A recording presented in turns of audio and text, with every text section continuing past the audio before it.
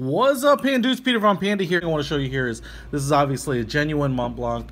This is a fake Mont Blanc. I've showed you, uh, I compared my original black one to um, some of the some of the, the pens that are supposed to look like Mont Blancs, but they don't actually say it. Now, what I wanted to show you on this one is that I picked this one up because it actually says Mont Blanc on it. So this one is really actually trying to pass itself off. And as you can see there, we also have the floating logo. So a couple of things that I noticed here, this is not a definitive commentary on what is or is not legit, but um, I thought I would just show you, you know, kind of between these two, but then also point out some of the things that I've noticed. So first of all, on this one, you can see here, obviously tries to mimic the name that's engraved on the top barrel. Now on here, what you'll have is you can probably just barely see it there, but on this side of the clip right there is where the serial number is engraved and it's kind of engraved in um, kind of a futuristic block style laser etching.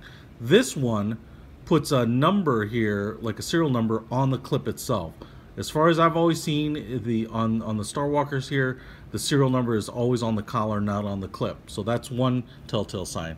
The other thing, and, and it's going to be a little hard to tell without having two of them side by side, but I've noticed that the floating Mont Blanc star logo on the fakes, you can see here, I've got them oh, just about even, um, is too small, you know, and that's going to be hard to tell without a real one next to it, but I've seen this pretty consistently where that is a little too small, and so that's kind of another telltale sign. You can also see maybe just a little bit of difference here, although they're pretty close. The collar on the real one is a little, a little shorter, uh, but the acrylic dome might be just a hair longer. And you can see also here that the real Mont Blancs, that star logo, because it's larger, also has more curve to it. And so you can see it, it's a little more pronounced, it's a little wider in there, but then because it's, it's actually three-dimensional and curved, kind of domed out, um, you know, it kind of drops down a little further. All right, so the other thing here on, in particular in this one, because it's supposed to be just the Starwalker, is that you can see here all the plating is very silverish. If it were ruthenium, it'd be more like this gunmetal color, and so everything would be more of that gunmetal color. Down here, they've kind of done that gunmetal color, and they have the knurling, which is pretty close, but, uh, you know, on the real one, this is also that, that gray gunmetal color. So the fact that we've got, you know, kind of a bright silver, um, you know, worked in here in various places, that's kind of a telltale sign to me. Now, the other thing is the devil in the details. You can see everywhere that there is metal. It's going to be a little hard to see here, but I wanted to show you that this clip, you know, everything's flat and polished. My fingerprints are on it. You know, it's just a really, you know, everything is, is high quality. On this clip right here, you can see a little bit of wave and distortion where like the sheet metal is kind of pressed into place, but it's not really hand lapped or anything like that to really smooth it out. You know, you can see a little bit of waviness there.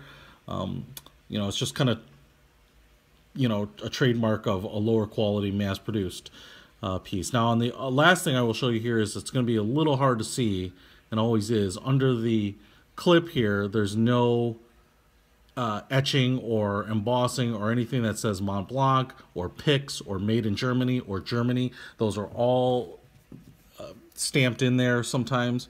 And, you know, on this one, it just says Germany, metal, and then Pix over here. But I have seen legitimate Mont Blancs that say made in Germany, Mont Blanc, just Pix. You know, there's a variety of them. It depends on when the, the pen was made, which is not always easy because some of these pens are in production for a very, very long period of time. And so the, the clips can be um, different even on very similar models. So you know, these are just things that I found here that uh, on on these types of pens that, you know, they can.